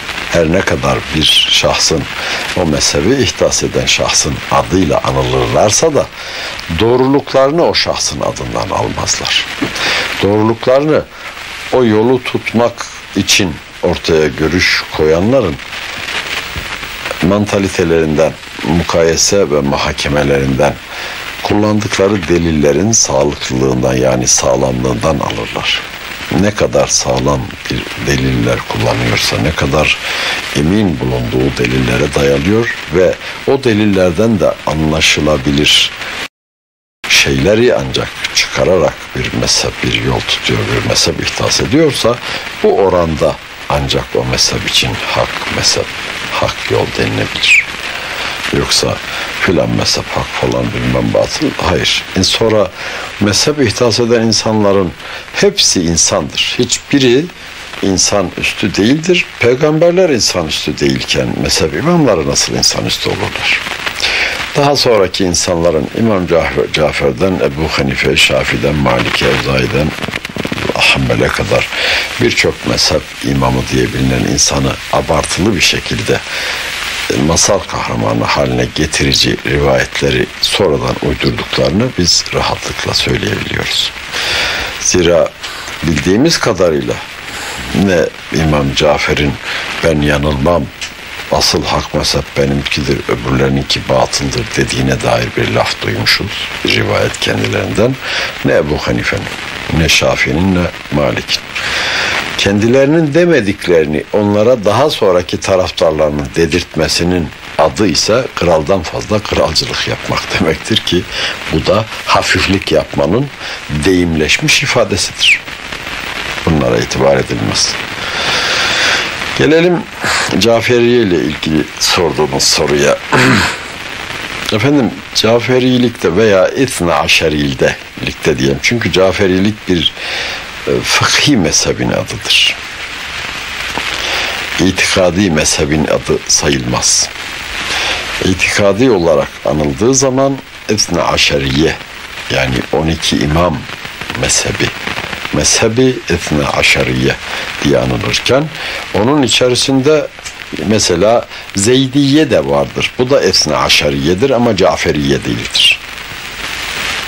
O bakımdan Caferilik etne aşariyenin tümünün ifadesi değildir. Her ne kadar e, Sünni diye bilinen mezhepler içerisinde taraftarı en çok mensubu en çok olan Hanefilik ise etne aşeriye içerisinde de belki fıkhına, fıkhına tabi olanların çokluğu bakımından Caferiye söz konusudur. Ama Etna Aşeriye dendiğinde de yalnız Caferiye bahis konusu edilmez. Örneğin bugün Yemen'de mevcudu epeyce bulunan Zeydiye de yine İsna Aşeriye denir ama Caferiye değildir. Cafer'in fıkhına, Cafer'in mezhebine, fıkıhtaki mezhebine tabi kimseler değillerdir. Gelelim bunlarda iştihat kapısının kapalı olup olmadığı meselesine. Teorik olarak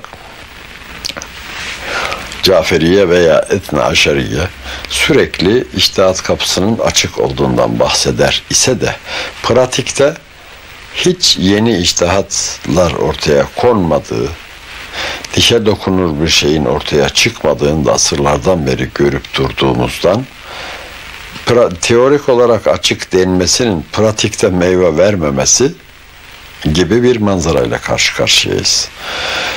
İkincisi itikatta ve genel esasları itibariyle İtne Aşeriye anlayışına dayalı oldukları için kim ne derse desin sonuç olarak ister Zeydiye çıksın şunu desin ister Caferiye çıksın bunu desin esas olarak masum kabul edilen 12 imamın imamdan gelen rivayetlerin dışına bunlardan hiçbirinin adı ne olursa olsun bugün ihtas edilen bir şey de olsa hiçbirinin çıkmadığını görüyoruz. Genel esasları kabul ediyor. Hani tıpkı Sünnilikte de var ya Hanefiye mesela ama Hanefiye'nin bir sürü imamı var. Küçüklü büyüklü. Örneğin İmam Yusuf var, İmam Muhammed var, İmam Zufer var. Ebu Hanife de en büyük isim olarak anılıyor. Ebu Hanife'nin koyduğu usulün dışına çıkmamış ki ne, ne Yusuf, ne Muhammed, ne Zufer. Onlar da o yüzden kimi konularda aynı usule tabi olmasına rağmen farklı sonuçlar çıkarmış olsalar dahi sonuçta yine Hanefiye imamı olarak anılıyorlar. Çünkü usul onlara renk veriyor, keyfiyet kazandırıyor. İşte Cafiriye'de de gerek eskiden gelip geçmiş bir imam olsun gerekse bugünkü usul olarak asla vaktiyle kabul edilen İthne Aşeriye usulü aşılmış hatta bırakın aşılmayı aşılmak düşünülmemiş hatırlara dahi getirilmemiş bundan dolayı bakıyorsunuz 14 asır önce yahut 12 asır önce bilmem imam filan ne dediyse daha dün dün canlı olan Allah mağfiret etsin e, Ayetullah Hümeyni'nin de ondan farklı bir şeyi esas itibariyle söylem olarak dile getiremediğini, getirmediğini görüyoruz. Çünkü getirmeyi düşünmüyor. Getirmeyi düşünmeyen bir insan nasıl getirir?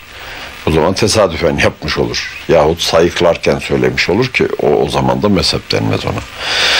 Belki onlarda yaygın olarak bilinen işte ölü müştehidin yahut ölü imama tabi olma sağ olması lazım diye yaygın olarak bilinen söylenen bir şey var. Bunun da ben şahsen pek isabetli bir görüş ya da tanımlama olduğu kanısında değilim. Şöyle ki zaten fikirlerin ölüsü olmaz. Fikirler, o fikirlerin sahibi insanlar yaşarken dahi ölebilirler. Eğer geçerli gerekçeleri yoksa bir görüşün o görüşü ortaya atan dipdiri, zinde, genç birisi dahi olsa o o kadar canlı olduğu halde görüşü bal gibi ölü doğmuştur. Yani ölüdür. Niye? Geçerli gerekçeleri geçersizdir. Bir görüş de düşünelim ki geçerli gerekçeleri geçerlidir. Bugün geçerli olduğu gibi yarın da o geçerliğini koruyorsa o zaman bu görüşü ortaya atan filan adam eceli elinde değil ki görüşünün gerekçeleri geçtiği sürece yaşasın. O gerekçeler geçerliğini yitirene kadar ömrünü uzatırdı. Ama insanın elinde değil ki ömrünü uzatmak ya da kısaltmak. O bakımdan eğer görüş gerekçeleri geçerliğini koruyorsa onu ilk defa ortaya atan koyan kimse ölse de eti kemiğinden ayrılsa da kemikleri çürüyüp toz olsa onun ufak olup kabrinin yeri bile belli olmasa kalmasa dahi görüşleri korunur, yürür. Yani bugün 100 sene ya evvel yapılmış, icat edilmiş bir tırpan, tırpan şu ot biçtiğimiz ekim biçilen tırpan 100 veya 200 sene evvel diyelim icat edilmiş veya daha evvel. Dikkat ederseniz gördüğü iş bakımından yerine başka bir şey konulamadığı için biçer döver filan hariç bu küçük yerler için Geçen gün burada Almanya'da veya Hollanda'da bile yolun kenarındaki otları tırpanla biçiyordular ve Orta Anadolu'daki köyler geldi aklıma ya dedi bunlar hala tırpanın yerine bir şey koyamamış mı hadi bizimkiler koyamadı da bunlar da mı koyamamış? Evet. Geçerliğini hala koruyorsa 200 sene oldu bu icat yapılalı daha niye atmıyoruz demiyor iş gördüğü sürece yürütüyor. Bir de şöyle bir şey var e, Ercüment Bey. Mesela diyelim ki Türkiye'de doğanlar Hanefi, e, İran'da doğanlar Caferi veya bir başka bölgelerde, yörelerde doğanlar Doğan evet e, Şafi, Hanbeli gibi mezheplere tabi oluyorlar. Şimdi e, bunlar herhalde bu mezhepleri genellikle hiç kimse kendiliğinden ben işte artık aklım erdi şu mezhebi seçiyorum diye bir seçim yapmadan otomatikmen Hanefi veya Şafi, Hanbeli oluyorlar. Bir de şimdi halk arasında yaygın veya çoğu hocaların da söylediği bir şey var. İşte falan mezhebe sahipsen bir başka mezhebe geçersen dinden çıkmışsın gibi bir e, suçlama getiriliyor. Bu konuda da biraz açıklama yapar mısınız?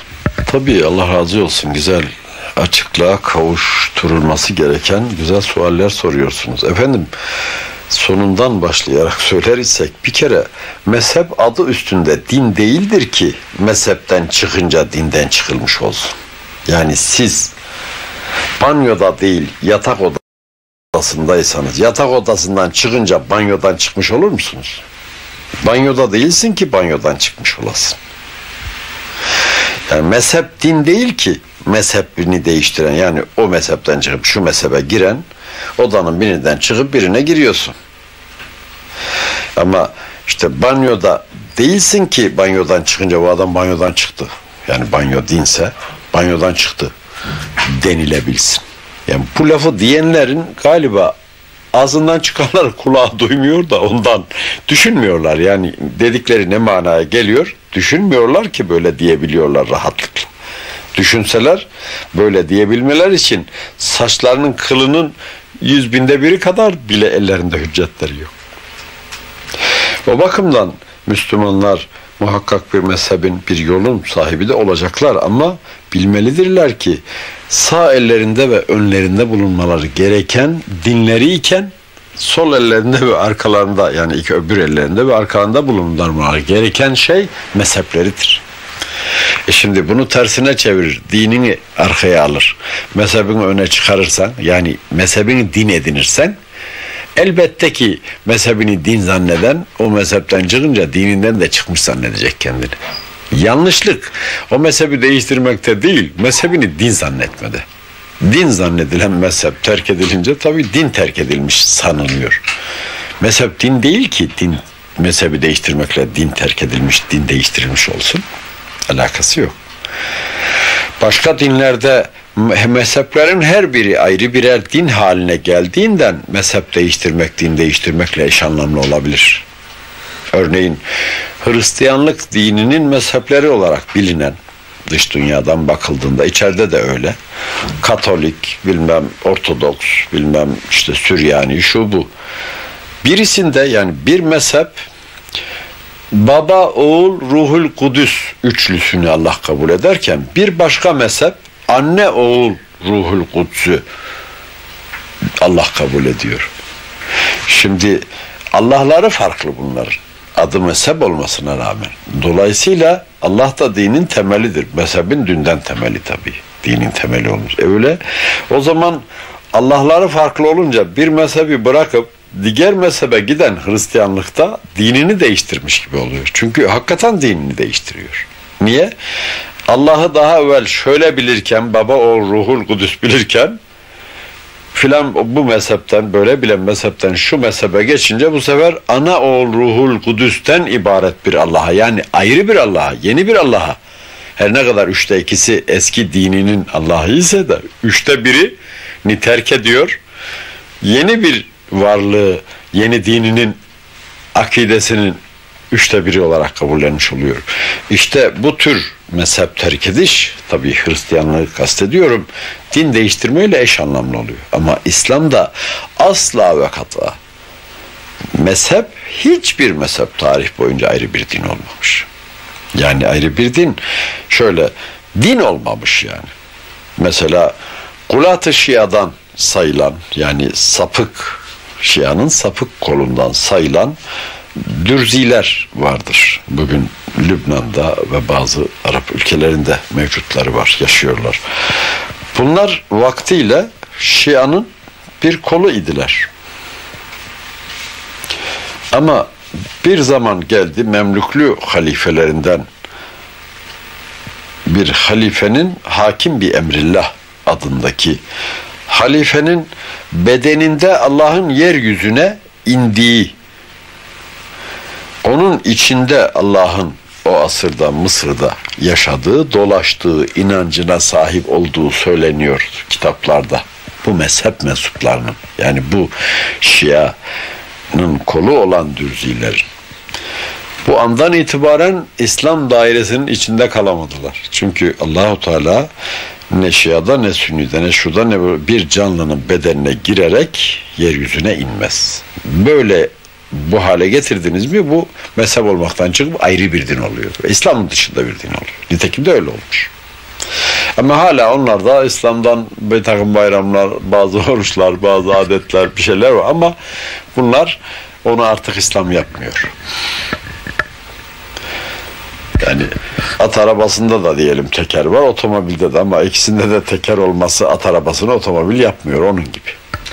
Evet, e, bir de şöyle sorabilir miyiz? Mesela e, diyelim ki Hanefi mezhebine e, tabi olan bir insan e, yeri geldiğinde bir başka mezhebi taklit edebilir mi? Diyelim ki Hanefi mezhebinde duyduğumuz kadarıyla diş doldurulmasının e, yasak olduğu diş çürüdüyse kesinlikle çekilmesi gerektiği söyleniyor. Bir başka mezhepte bunun için e, caiz. Hanefilikte böyle de Hanefilikte öyle değil. Bu konuda Şafiler Hanefilere uyarak doldururlar. Yoksa kendi mezheplerine kalsalar hepsini kelpedenden dümdüz etmeleri lazım. Yani e, Yanlış tabii böyle şeyin e, doğru olmadığı kanısını da belirtmek için söylüyorum. Efendim mezhep benimserken nasıl bir yol takip edilir diye sormak bu meselenin temeline taalluk eden cevabı alabilmek için gerekli. Şöyle ki bir yol tutabilmek için bir insan şunun adı bunun sanına bakmaz, bakamaz. Neye bakar? Bir görüşü görüşlerden görüş seçerken nasıl arabalar arasında beğenirken hangisi daha performansı yüksek, hangisi daha sağlam, hangisi daha az yakıt yakıyor, hangisi daha rahat gibi bir takım mücerret ölçüler var. Yani nerede olursan ol. Bunlara dikkat edersen iyisini daha ucuza alır ve daha uzun süre kullanırsın. Görüşler arasında seçip yani mezhepler arasında seçim yaparken de yani külli seçim değil külliyen Hanefiliği seçmek, külliyen Caferiliği, külliyen Hanbeliliği bu şekilde değil. Biliyorsunuz birçok görüşten, birçok konuya taalluk eden görüşten oluşur. Filan mezhep, falan mezhep adı verilen mezhepler. Hiçbir kimsenin bir diğer kimsenin bütün görüşlerini toptan ve peşinen kabul etmesi zorunluluğu diye bir zorunluluk asla yoktur. Böyle bir dayatmacılığa da zulüm denir. Böyle bir dayatmacılığa da zulüm denir. Tek tek yani filan meselede falan meselede falan o zaman ne yapacak? Kaç görüş var? Şunun görüşü, bunun görüşü, bunun görüşü, şunun görüşü şu mesele aynı meselede. Bir de kendi görüşü. Yani dayandırılan bu görüşlerle ilgili dayandırılan deliller nelerdir? Bunlara bakılır.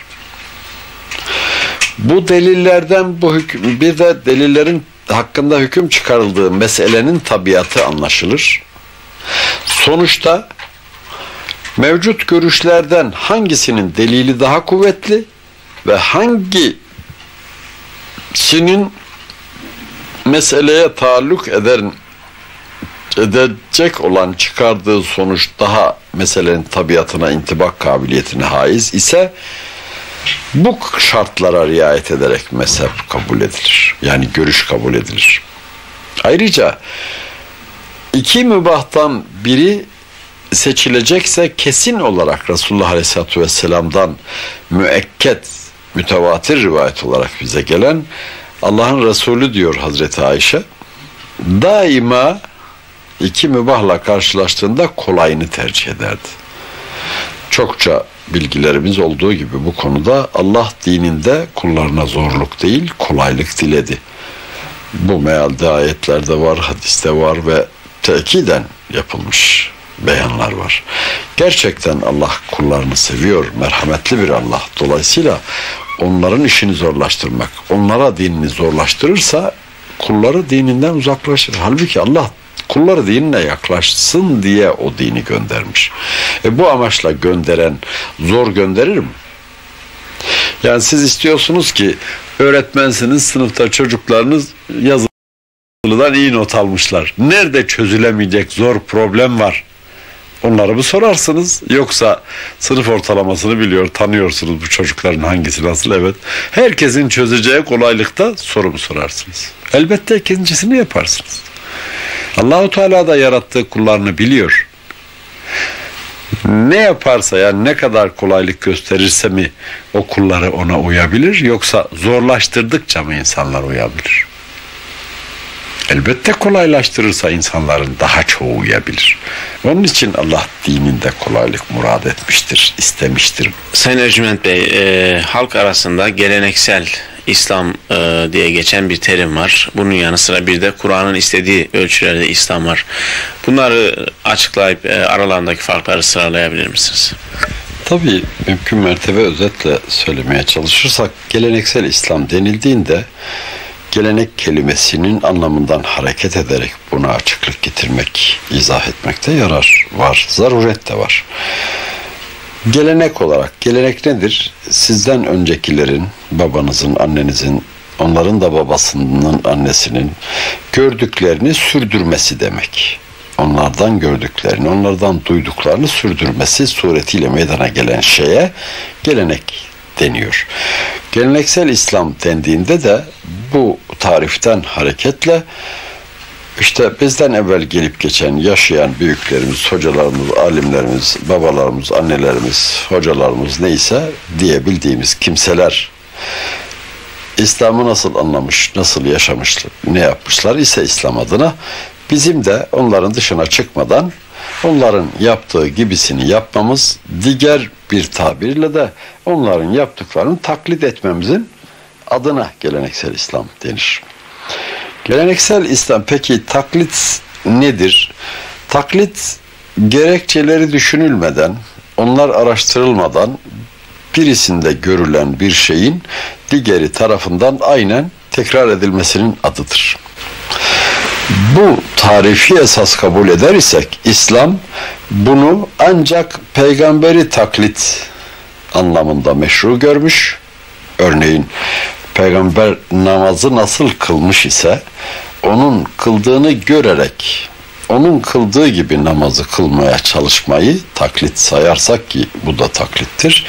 Bunun bu tür taklide yani yalnızca peygamberin taklidine izin vermiş, imkan bırakmıştır. Peygamberin dışında herhangi bir insanın esas itibariyle taklit edilmesinin İslam'da bir yeri yoktur. Eğer esas itibariyle taklidin yeri olmamakla beraber eğer bir insan ne yapacağını kendi cehdi, iştihadıyla belirleyemiyor ise bu takdirde kendinden evvel o işi yapanların yapış tarzlarıyla ilgili dayandıkları delilleri, o görüşleri değerlendirerek hangisini daha isabetli buluyor, aklı ikna oluyor, kalbi de itminan hasıl ediyorsa ve hangisi iki mübahtan birisi daha kolay ise onu taklit etmesi çaresizlik noktasında tümden çaresiz kalmamak için ancak caiz görülüyor. Fakat bu yapılırken de dikkat edilirse mevcutlar içinde mukayese yapılarak seçme yapılıyor. Dolayısıyla bilinçsiz bir taklit filandan görüleni, nedenini, gerekçesini, dayandığı delili, hükmün isabetli olup olmadığını araştırmadan değil, araştırarak araştırma sonucu da araştırdıkları arasında bir mukayese yapıp en isabetlisini seçme bilinçsiz bir taklitin ötesine aşıyor. Sonuçta gene birinin yaptığı gibi yapıyorsunuz ama onu yaptığınız ana kadar gösterdiğiniz cehd, yaptığınız araştırma, tahkik sizi mücerret, düz, mukallit olmaktan, taklitçi olmaktan çıkarıyor. İşte Müslümanın asgari bulunması gereken seviye budur. Ya kendisi bir görüş ihtas edecektir ya da daha evvel görüş ishar etmiş, mezhep ihtas etmişlerin dayandıkları delilleri sonuç olarak çıkardıkları görüşleri mukayese ederek hangi deliller daha sağlam, hangi görüşler o delillerden çıkarılması gereken en isabetli sonuçlardır. Meselenin tabiatına intibak eden sonuçlar. Bunun araştırmasını yaparak yani yine bir cehd sarf ederek vasıl olduğu görüştür. Bu ancak caizdir. Peygamberin namazı niye kıldığını o açıkladığı kadarıyla iktifa etmek zorundasın. İşte ben böyle kılıyorum, siz de böyle kılacaksınız demiştir. İbadetlerinizi benden gördüğünüz gibi yapınız demenin anlamı budur. O bakımdan onu da tahkik edecek halimiz yoktur. Eğer onda bir yanlışlık varsa Rabbi Allah elçisinin yanlışını düzeltir, yanılgısını giderir. Çünkü dininin kulları tarafından yanlış anlaşılmasına Allah meydan ve fırsat vermez. Çünkü o dinden ahirette hesaba çekecektir. Hani kitabının yanlış basılmasına nasıl bir hoca üniversite hocası veya lise hocası müsaade etmez. Bunu caiz görmezse Allahu Teala haydi haydiye caiz görmez. İşte se seçimde buna dikkat etmek lazım. Aslan taklit caiz değildir. Yani esas itibariyle ama zorunlu olarak yani bir başka bir şey de yapamıyorsanız ancak yapanlarınkini mukayese ederek ki o da bir gayret ister, o da bir araştırma ister, o da düşünce ister. Onun sonucu bir şey seçer, onunla amel edersiniz. İkisinden biri zorunludur. Yani birincisini yapmak asıldır, ikincisini yapmak çaresizlik anında başvurulacak şeydir. Yapamadığınız noktada ne yapacaksınız? Başkasının yardımına ihtiyacınız olacak. O zaman başkasının görüşüyle amel edin. Ama gene de hangisinin o başkası hangisi olacak konusunun sorusunun cevabı o başkası şu olacak görüşünün dayandığı deliller sağlam olan olacak. Bir, görüşü de o görüşün taalluk ettiği meseleye en çok intibak eden olacak. Bu şartlara riayet etmeniz zorunludur. Bunun dışında bugün milletin yaygın olarak yapa geldiği gibi işte anne babamız işte sünni biz ehli sünnet vel cemaat toplumundanız onun için biz de öyleyiz demenin İslam'da hiçbir sevap olmadığı gibi sorumluluğu üstünden atan, sorumluluktan kaçan bir insanın tavrı olduğu için de kesinlikle caiz değil, günahtır, hesabını veremez insanlar efendim ben Hanefiyim işte Şafii olamam bilmiyorum. Niye olamıyorsun? Sen ki doğrular neredeyse orada ola, olmalısın. Filan konuda Ebu Hanife isabet etmiştir. Onun görüşünü alırsın. Falan konuda Şafii daha isabetli bulursun. Falan konuda ben kendi görüşümü hepsinin bildiğim görüşlerinden daha da isabetli bulur. Daha da isabetli bulur ve o görüşe uyarım. Hiç kimse ne Ebu Hanife'nin görüşüne, ne İmam Yusuf'un, ne İmam Cafer'in, ne Süfyan-ı Sevri'nin, ne Abdullah bin İbad'ın, ne İmam Davud-u Zahiri'nin görüşüne uymak zorunda, onları taklit etmek zorunda değildir. Dediğimiz gibi öncelikle kendisi bir görüşü koymak için çalışmak zorundadır.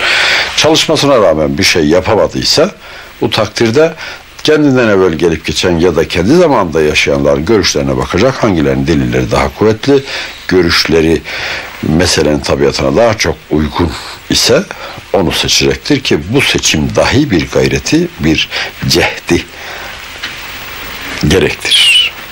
Kaidesi budur. Bunun dışına yapılan şeyler Kur'an-ı Kerim'in biz atalarımızı üzerinde yürür bulduğumuz yolu yolda yürümeyi daha kolay buluyor, doğru buluyoruz gerekçesiyle Allah'a şirk koşan atalarının yürüdüğü yolu doğru olduğunu iddia eden ve böylesine de geçersiz bir gerekçe ileri sürerek bunu iddia edenlerin görüşünün nasıl basit, anlamsız, kabul edilemez bir görüş olduğunu allah Teala ataların dinine tabi olmamak gerektiğini ifade ederek beyan ediyor.